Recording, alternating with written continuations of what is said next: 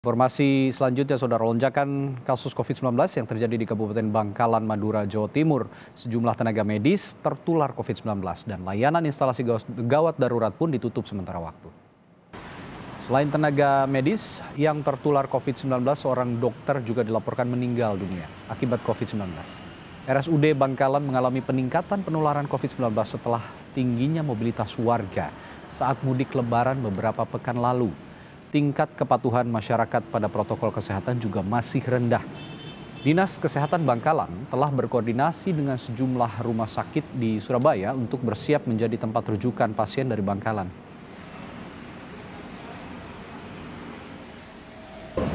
Mengkondisikan pasien-pasien yang stagnan di eh, perawatan di IGD karena di ruang perawatan isolasi penuh sehingga kita tidak bisa menerima lagi.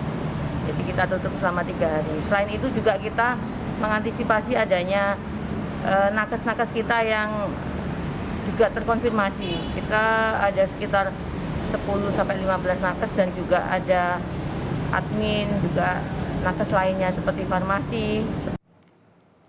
Untuk mengetahui informasi terkini terkait sejumlah tenaga kesehatan yang positif COVID-19 hingga penutupan layanan IGD, kita tanyakan jurnalis Kompas TV Didin Muhyiddin di Kota Bangkalan. Didin, jadi total ada berapa nakes yang positif COVID-19 di Bangkalan dan penanganannya seperti apa saat ini? Baik Radi dan saudara, saat ini saya berada di depan RSUD Bangkalan. Di IGD ini ditutup dari kemarin sampai Selasa depan. Di RSUD Bangkalan ini terdapat 15 tenaga kesehatan yang terpapar COVID. Semua tenaga medis ini ini dirawat intensif di RSUD dan hingga hari ini tetap ditutup dan tidak menerima pasien baru. Rabi. Ya, lalu Didin sudah adakah pasien COVID-19 yang kemudian dirujuk ke luar wilayah Bangkalan seperti Surabaya misalnya? Baik Rabi, tadi saya sempat berbicara dengan keamanan di RSUD ini.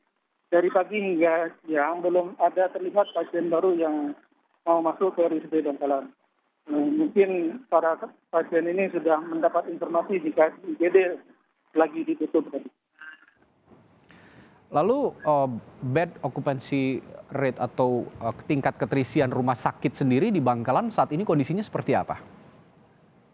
Untuk RSUD Bangkalan sendiri, ruang isolasi menurut Direktur RSUD penuh, isolasi penuh sehingga tidak bisa menerima pasien baru. Hal ini dilakukan agar tenaga medis bisa lebih optimal mengobati pasien yang ada di dalam.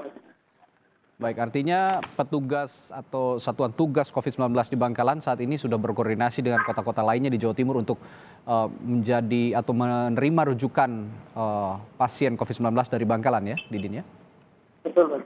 Baik, terima kasih Didin Muhyiddin, laporkan langsung dari Kota Bangkalan, Jawa Timur.